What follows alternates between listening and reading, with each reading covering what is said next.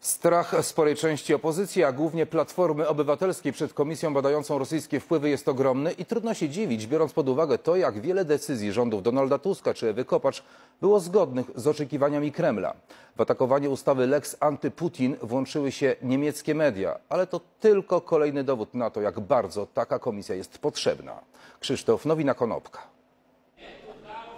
Komisja nie zaczęła jeszcze działać, gdy za Odrą już zapadł werdykt. Polski rząd planuje pokazowe procesy przeciwko działaczom opozycji, wyrokuje Zeit. Gdyby Tusk lub inni politycy opozycji zostali objęci śledztwem Komisji do Spraw Rosyjskich Wpływów i zakazano im sprawowania funkcji politycznych, wybory nie tylko zostałyby pozbawione atrybutu uczciwości, trudno byłoby je uznać za demokratyczne. To jawne kłamstwo, bo komisja nie będzie miała kompetencji, by ostatecznie zakazać politykowi sprawowania funkcji. To też zapowiedź, że głos polskich wyborców może nie być uznany przez Berlin, na co z pewnością liczy Putin. Kremlowi zależy na tym, żeby PiS nie wygrał wyborów ze względu na ich strategiczne cele. To znaczy PiS jest zdefiniowana, jest zdefiniowana jako partia e, skrajnie antyrosyjska. Komu sprzyjają niemieckie media jest jasne. To opiniotwórczy Süddeutsche Zeitung z tytułem, który nie pozostawia wątpliwości i równie klarownym wnioskiem.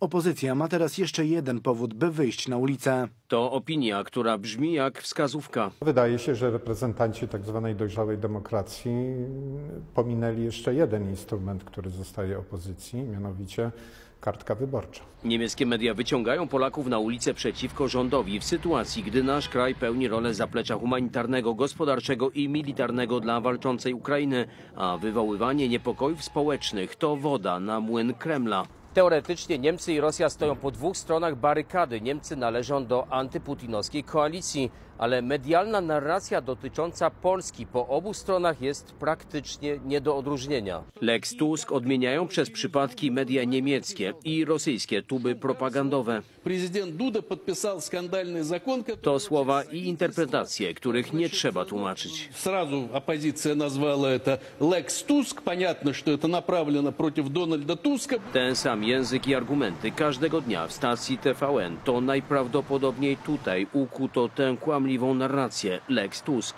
Prezydent podpisał ustawę, która tworzy komisję Lex Tusk. Teoretycznie ma badać rosyjskie wpływy w Polsce.